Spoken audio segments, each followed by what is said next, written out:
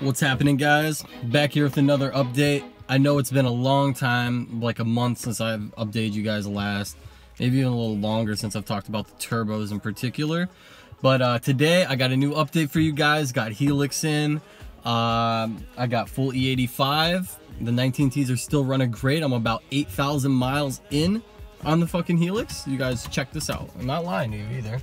Or not on the Helix, sorry, on the turbos 165 go back to my other videos of like 158 something. I'm getting close to 8,000 miles.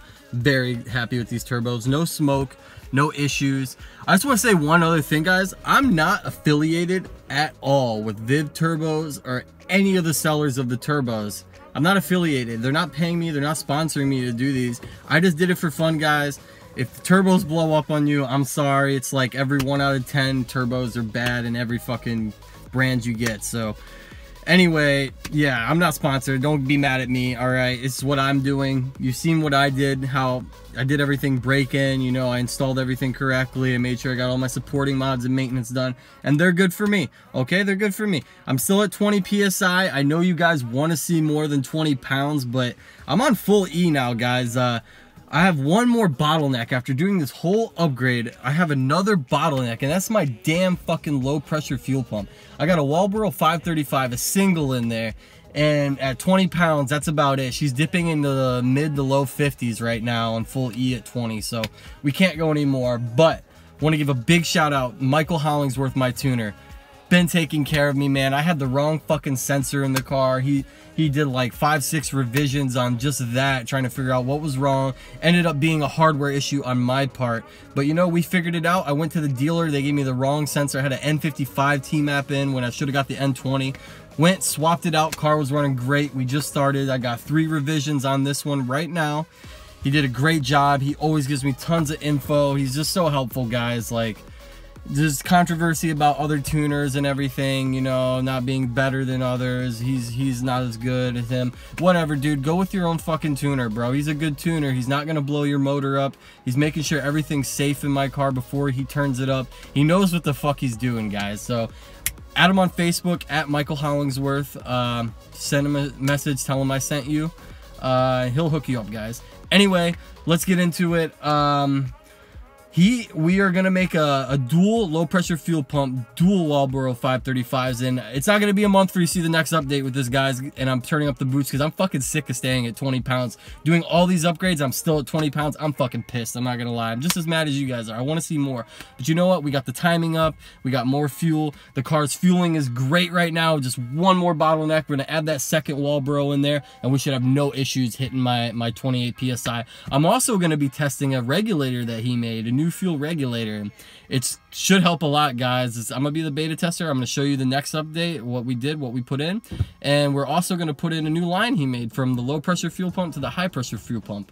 Uh, apparently that line is really restrictive and just upgrading that line from the tank to the to the pump is a huge flow difference in upgrade. So we're doing that in the next video, the pumps and the regulator. And we should have to we're going for 28 psi guys. We're going we're gonna just bring it up up up and i'll have the video showing you guys how we go up. Anyway i don't want to make this introduction long or anything. Stay tuned. It won't be months i promise you until the next update and these turbos are going. But right now she's fucking ripping more than that e40 20 pounds i tell you. I love the helix so far. It's great. Um I guess let's just get into the fucking video, guys. We're going to the shop, show you some some little tips and tricks you might need for the Helix. And uh, just subscribe for more, guys. Stay tuned. Peace. Anyway, let's get to it. Uh, we got a new T-map sensor in. Well, we're about to put it in. Got our charge pipe off. About to change my O-ring on this uh, charge pipe because it's loose. You can see it's been a while. It's been loose, so I don't know. It just got loose. Uh, I got the charge pipe out. We're about to take the. About to change the T-map on here. I got the N20 sensor from the 320i and uh, that actually reads a lot more boost 3.5 bar so should be good enough for like 32 psi or something or more i believe something like that so got that got a little uh, plug for it and some pins because i was impatient and didn't wait for my adapter to get here so we're just gonna jerry rig it with using the stock plug or sorry stock harness to a n20 plug and we're replacing the pins in the plug so it works it should be sweet. It should even look cleaner. It should look stock. So we got our Helix three times here, all ready to go. We got the line and the high pressure at the rail. And then we got, um, what else, what else? I got some new spark plugs, I got my bracket, I got all the, everything I need with it. And I got some new NGK spark plugs. I'm in the middle of replacing those now while Jeffrey gets all this out of the way, the intake manifold and all that, so we can get in there, throw the Helix on. Uh, yeah, guys, stay tuned. We'll be, you know, throwing this on. We'll see how she does. And uh, yeah. All right, guys. If you're wondering uh, what gap I use on these plugs and these turbos, this fuel, it's gonna be zero or 0.020 right here. Gap in there. If you're wondering what plug number I use right now, I guess these are the new ones in 97968. And so we got everything off. Everything's ready to be installed now. We're gonna put this last plug in, get that fresh plugs for you know the job. Because why not? Maintenance, maintenance, maintenance, right Jeffrey? Maintenance, maintenance, maintenance. That's what I preach guys. Always keep your maintenance going because if not, why the fuck are you installing these parts? Because your car's not gonna run right. Also, it looks like I did valve cleaning not too long ago, but they don't look horrible. But looks like I'll have to do that again in the next few thousand miles, maybe like 5,000 miles. But they don't look bad for now. Alright guys, as we are about to drill the inlet and I'm about to drill the inlet to the fuel rail because it's so restrictive. This is where we're going to get a lot more pressure, no more bottlenecking. And first we're going to take off this sensor that's already loosened using a 27 Take off the sensor just so we get no metal shavings inside. And we're gonna blow it out with compressed air later. So we got the fuel rail off, we got the sensor off, and now I'm gonna drill a hole right in the inlet, open this baby up so we get some flow. And uh, Jeffrey's over there working on uh, putting the rest of the helix in while I'm doing this. So, yeah. All right, guys, just, uh, just something to note when you're installing the helix using these stock three screws that go on the new vacuum pump cover you can notice how this is much thinner than this. So these screws actually don't go very far in at all. So what we did is even my tuner Michael used these stock ones and me showing him the difference he even is going to go back and uh, replace screws with some longer ones now since these bolt into aluminum we want to make sure they're in all the way. We don't want any problems with the vibrating, and this is maybe another reason why people things are breaking. They're not putting them in all the way. So we went here. We got a, a new uh, what is it? M6 1.0. Yeah. Got a new M6 I think they're 20 millimeter long. 20 millimeter long. And besides the support bracket with the longer bolts that it comes with already and the bolt for the bracket, these are definitely needed and recommended, guys. So just one little thing I'd recommend doing is make sure you get some longer bolts for this vacuum pump bracket, just like this. All right, uh, let's go finish the install now. Should not be leaking. All right, guys, another few things I want to explain is uh, this low pressure line down here to the high pressure fuel pump. We actually bent it out of the car just a little bit to the right. And then uh, got the line in the back on good. The Helix is on. We put Loctite on all the bolts, which is also recommended, guys. We hand tighten, Jeffrey hand tightened uh, all this. He actually did all this shit for me. So shout out to Jeffrey for helping me. But anyway, we got the bolts hand hand tightened in here. We uh, before we actually fully tightened everything, made sure Loctite was on, and then we tightened everything at once. So we're doing this job right. She's snug. She's not moving anywhere at all. Most force. So, yeah. Helix is in. About to drill the fuel rail out now. You know? Get it in, in the shop out of here. That's how we do. Almost there, guys. Let's see. Alright, guys. Just drilled the inlet to the fuel rail. Using, uh, what, what size was this again? Three millimeters. Three millimeter. Maybe four. Maybe four. Bucket drill that out. Size.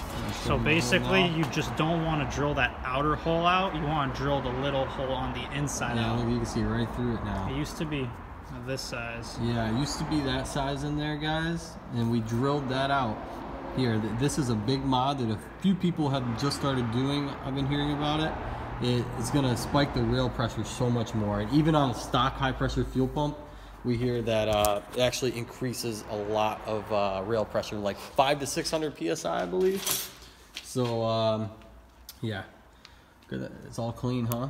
You know, we were thinking about even drilling these out too, because this is the only bottleneck left in the system. Also, you know, interesting enough, the end of the fuel rail, the other side, already didn't have the the little inlet there, a little restrictive inlet. It was already like that, you know. Very weird, very weird, but all right, no more bottleneck, guys. Got the fuel rail. We, we just blew it out with compressed air, by the way, so there's no metal shavings in there. Gonna do it a couple more times. Yeah, do it a couple more times. There's nothing in there. We don't want any metal shavings.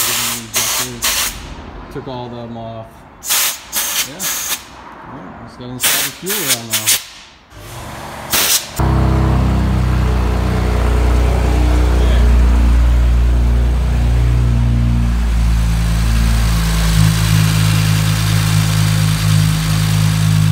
All right, baby. Let's start up.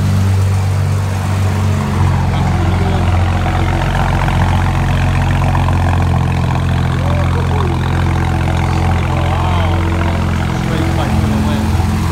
Gotta let your turbos breathe, guys. You need a fucking straight pipe. Get your turbos and no straight pipe. What the fuck's wrong?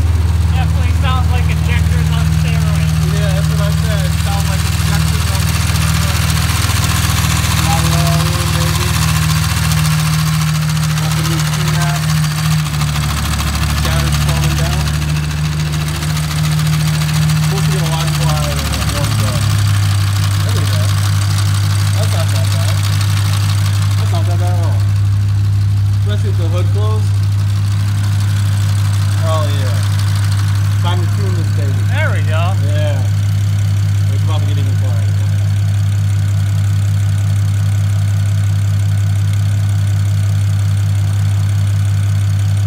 Yeah, that's quiet. That's good. Whatever, a little cold start, you know, whatever. Alright guys, I'm just gonna get out of the I'm just getting out of the car for a minute. Time to write this map. Actually, gotta go change something really quick. The th- cool thing about custom tune is I didn't know until I got custom tune, guys. You can set your own burbles, whatever you want, over your own your tuner's custom tune. So I still got all these little cool settings. Uh, we'll go back to 1.5. The sport. I just need to change this because he already has a T-map sensor marked in there. So we're just gonna go back to OEM. Okay, I got all the settings I want. Long right. Not even hooking it up to a battery charger, guys. Done this multiple times. If you got a good battery, don't need to hook it up to a battery charger when you flash it, even if it's a long map. But all right. Alright. I'll do this log. Little third gear log in. Here we go, baby. I'll start the log. 22, we'll start at like 2K. Here we go. Let's see what she's got. Oh, sh- Holy fuck.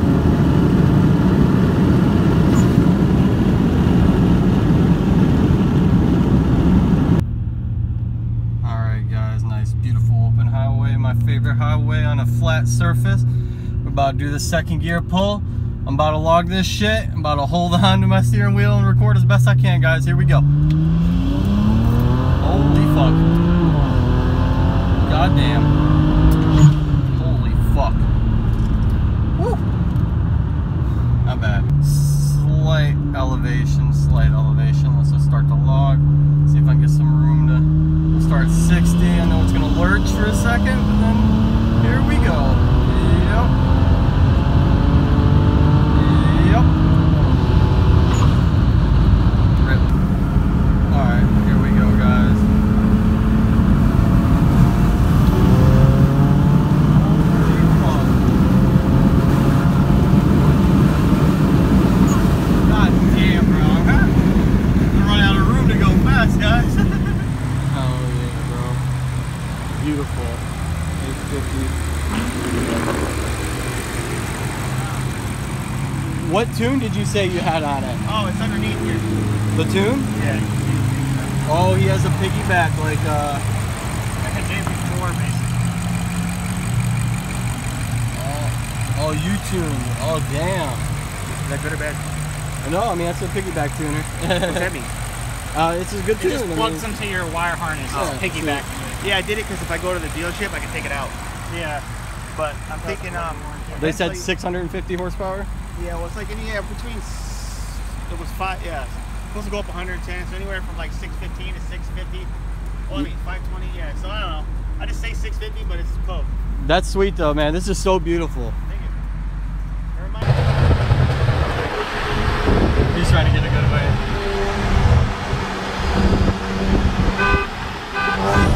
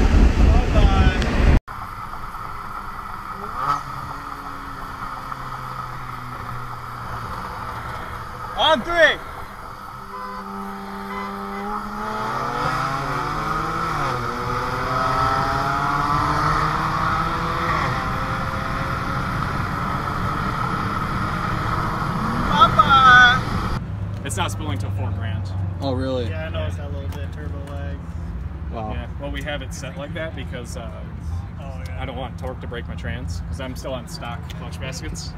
But Green light.